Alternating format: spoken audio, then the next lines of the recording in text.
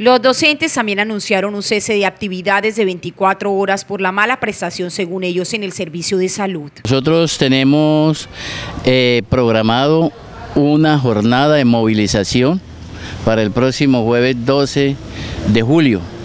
El motivo es que el prestador de los servicios médicos asistenciales del magisterio ha venido incumpliendo los términos eh, en muchos aspectos.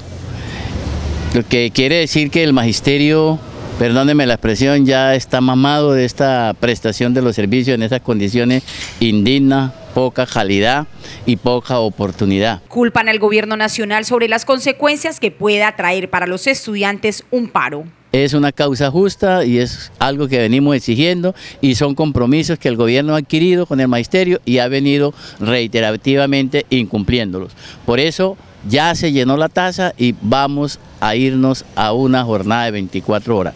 Solamente no se hace la jornada si ellos de aquí al martes 11, martes 10 nos están dando una respuesta concreta frente a lo que nosotros estamos exigiendo. De no tener respuestas, buscarán medidas más contundentes frente al gobierno nacional. No es nada extraordinario, no es nada nuevo, no es nada que no, es lo que ellos eh, pactaron cuando firmaron el contrato entre la FIDU Previsora y la UT Red Integrada Fiscal CUT. La buena prestación en el servicio de salud quedó pactado en los acuerdos entre los docentes y el gobierno nacional en el pasado paro, que duró 40 días.